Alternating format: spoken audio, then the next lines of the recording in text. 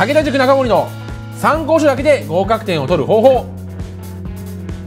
はい、えー、続いて日本史の勉強について話していきたいと思います、えー、日本史ですが、えー、配点40点で時間が60分、えー、となっています。で形式は、えー、記述とマークの併用、えー、ですね。で、まあ、論述は、えー、とりあえず、えー、最新の問題では出ていないという形に、えー、なっています。で、大問は4題、えー、出題されており、えー、資料問題の出題が、えー、まあ、大体半分以上は、えー、大問のですね、えー、出るような形となってますので、まあ、資料の対策は必須という形になっています。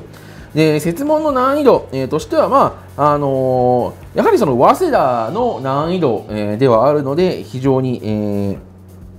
難易度高い。まあ、その中でも法学部は割と、えー、聞いてくることが細かいので、教科書、えー、だったり、まあ、実況中継、および用語集、えー、などのやり込み、えー、は非常に重要になってくるかとは思います。問題集としてはやはり、えー、実力をつける日本史100題などのやり込みをしっかりやっておく。えー、で、えー、それプラス用語集、教科書、えー、資料集など隅から隅までですね、本当に隅から隅までやるつもりでやっておかないと、えー、教科書に載ってんだけど、本文じゃないよみたいなところを聞いてきたりすることもありますし、あの用語集でわざわざ用語調べないでそこまではあの考えてなかったなっていうことが聞かれることもあります。なのでその使っている教材を使い倒すっていうつもりで徹底的にやり込む、え意識を持って取り組むように心がけてください。